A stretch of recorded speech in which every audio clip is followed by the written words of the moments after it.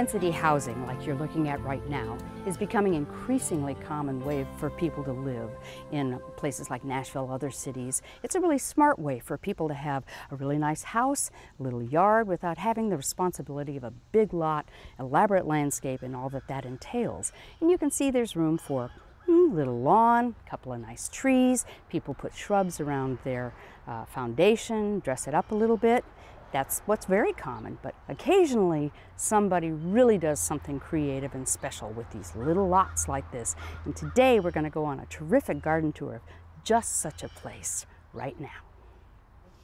Today we're at the home of Tony and Jeannie Herrera here in Green Hills in Nashville. And Tony, thanks so much for inviting us well, here. Excited that you're here, Marty.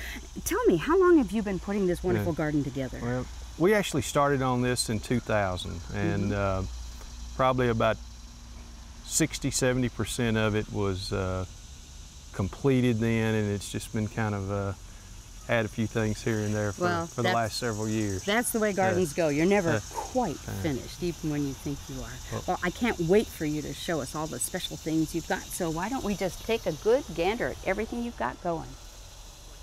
I love the way you've got different textures and colors, shades of green all working together in this garden. It's really extraordinary. Well, we, we like a lot of different uh, plants and trees and shrubs. I'm real fond of the ornamentals and artsy pieces and I like some of the southern classics. Uh, Jeannie does too, the azaleas and mm -hmm. uh, mm-hmm. rhododendrons. and.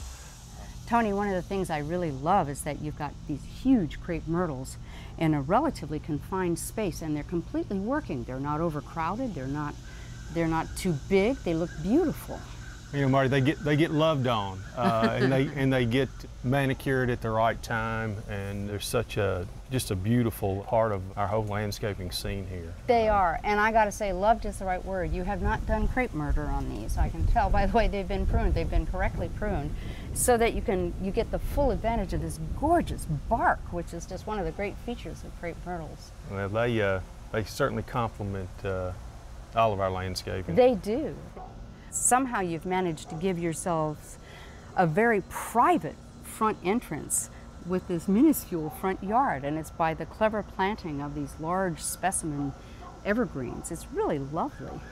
You know, they uh, they kind of maybe got a little bigger than I thought that they would, but uh, they obviously love where they are and uh, yeah. we love looking at them. I like the kind of northwest part. Yeah, this has a uh, kind of a Portland, Oregon look to it, this well, blue Atlas cedar. It does, and, and and my daddy was from Colorado, or is from oh. Colorado, and so I kind of I kind of makes me think of that. And and one of the things that first struck me when I walked in here was how you've solved the problem of having grass, if you will, in the shade, which is uh, just about impossible for most people.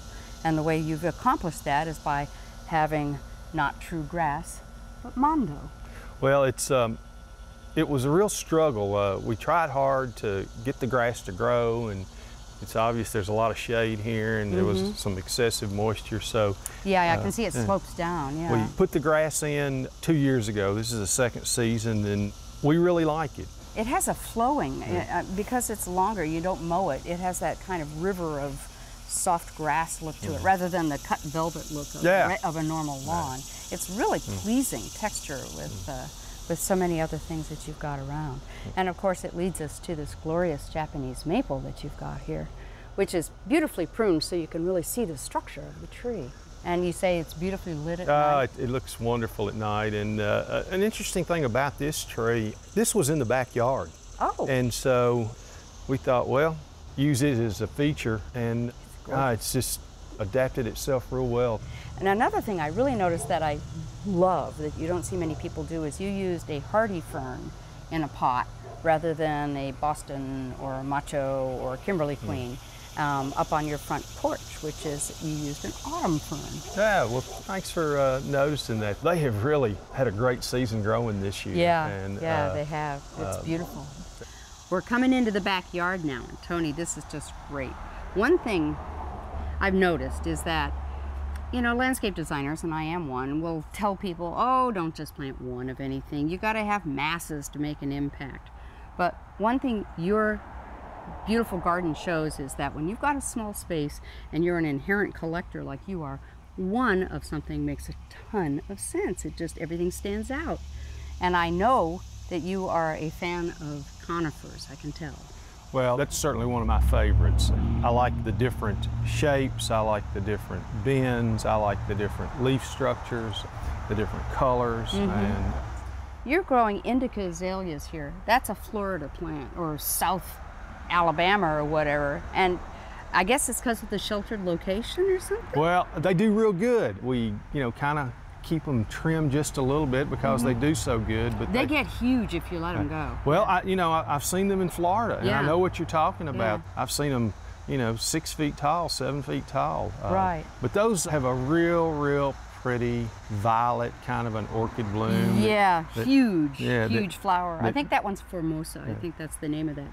I Big see. I, go you, ahead. you keep kind. teaching me. Uh, I guess you could call this your red corner back here. it's, it's red. that that hibiscus is awesome. Thank you. Th- Those those flowers have to be what nine inches across, Well, they're, maybe. they're they're really big, and you know now that we've had a little bit of rain, they're they're often uh, firing again. Mm-hmm. Um, Oh, it's So- gorgeous. I'm not sure exactly what variety that is, but I suspect that it's Lord Baltimore. That's what Mm. it looks a lot like. That is just a, and really hardy. It comes back reliably every Mm. year, Uh, blooms like clockwork.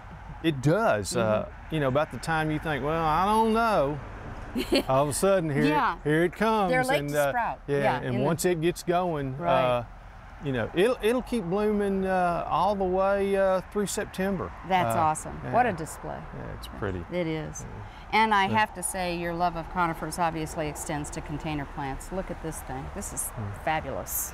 That's a good one that lets me have a little bit of fun, Yeah. bending it and tying it up and uh, curling it. The weeping atlas is Yeah. really pretty. Pretty blue color. And I uh, love the, the little calibrachoa underneath. That's really pretty. Mm. Hey, I hear falling water. Yeah, we got a nice little water feature back here to look at. Cool. Oh, but on the way, look at these incredible pom poms. My gosh. You do this?